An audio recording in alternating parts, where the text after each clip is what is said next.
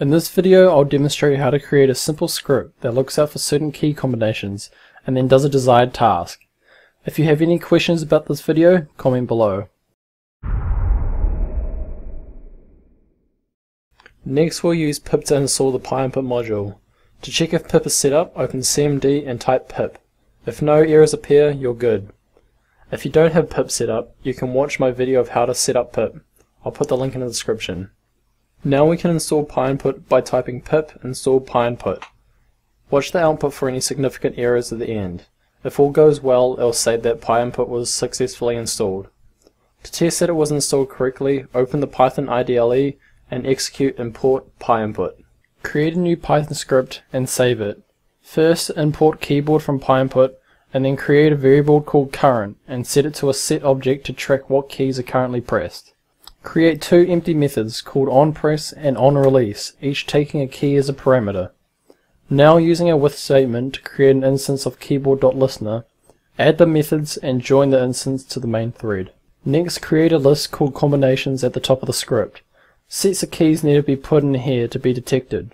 For this tutorial I'll want to look out for Shift A. First create a new set and put the keys in separated by a comma. Since shift is a special key, we'll need to get it from keyboard.key. Put a comma and now use keyboard.keycode to get the key code of the letter A. We will need to do this again, but this time for a capital A. Depending on what order the keys are pressed in, the listener will get an upper or lowercase a. If you want to add different hotkeys, I have some more examples on my website. The link will be in the description and at the end of this video. Now create a method called execute. This is what will be executed when a combination is detected. You can put anything in here, but for this video, I'll print a simple string. Now we will edit the onPress method. We'll need to first check if the key that has just been pressed is in any of the combinations that we have. If it is, we need to add it to the current key set and then loop through all the combinations, checking if all the keys in particular combination are in the current set.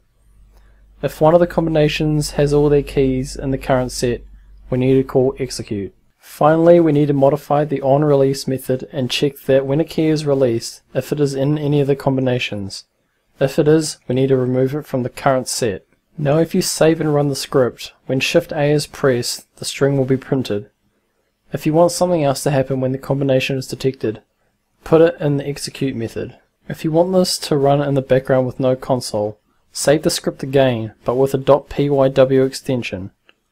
Now this time when you run it, the console will not appear. Head over to my site to look at a written tutorial and the code for this video. Also, if you want to find out how to convert this to an executable, watch my video on converting py to exe.